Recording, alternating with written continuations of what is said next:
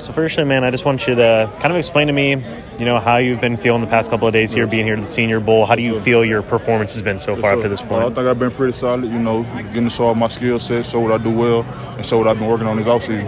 And then whenever you look at, I guess, kind of where your skills may translate in the NFL, be it a three-four defense, four-three defense, where do you feel most comfortable moving forward to that next Uh, I pride myself on versatility, so I think I can play anywhere from a three tech to a shape to a head up nose, so anywhere on like from three tech to head up nose.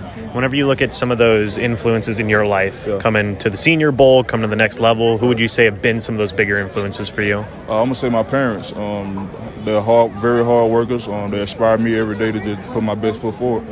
I gotcha. And in terms of you know coming from where you did with college, Mississippi State, how do you think that has prepared you playing for your coaching staff coming to the next level as well? Um, I think our coaching staff really did a great job prepping us to be pros. Uh, we have a very, very um, great coaching staff. They they put us in position to succeed at the next level. That's why I think a lot of guys come out of Mississippi State and be successful. How's the process been meeting with teams so far? Who have some of those teams been that you've met with so far up to this point? Uh, I think I met with up to 22 teams, so I don't want to name them all off, but sure. uh, Yeah. yeah, I had pretty good meetings with all of them. All of them gave me great feedback, so I'm excited about that. We would be here for a while if you named all the teams, but let me ask you about one team. Have you gotten a chance to meet with the Tampa Bay Buccaneers yet? Uh, no, sir. But uh, Tampa Bay, they came. We, we was in Tampa for the bowl game, so they came out bowl practices, and you know I got a good look at them then.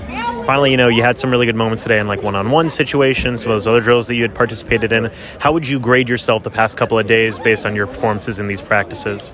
Uh, I'll give myself. I'm gonna be moderate. I'll give myself an A minus. Um, I think I showed what scouts know that I can do. I showed the power, but I think I also showed a little flexibility in getting around the edge. And finally, who are some of the guys that you've been looking to mold your game after, study after, going into that next level? Uh, well, I'm a Mississippi State guy, so you know Jeffery Simmons, uh, Chris Jones, Fletcher Cox. Those all, those are three great guys to watch. Uh, they're at the top of their game right now, and I just mold myself after them. Sure. Thanks, man. Appreciate So, it. thank you. Thank you. Thank you.